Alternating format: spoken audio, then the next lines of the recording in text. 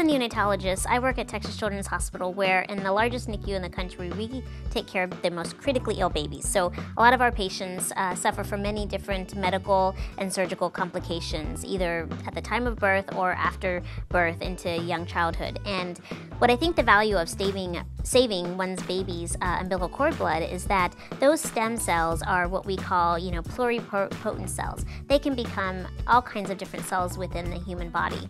And we already know that stem cells have been used successfully to treat for children who have childhood cancers, you know, hematologic problems, immune problems. Um, and now there's a bunch of research going on as well at looking at stem cells' ability to help ameliorate problems that babies could be born with or suffer from later in life. Life things like autism, cerebral palsy. When you're going through reproductive uh, assisted technology, you may not be completely a genetic match with your newborn baby, and for sure with adoption. And so, in those situations, saving your newborn's uh, cord blood is really important because it's just an opportunity for me to have some genetically matched blood uh, should my child need it.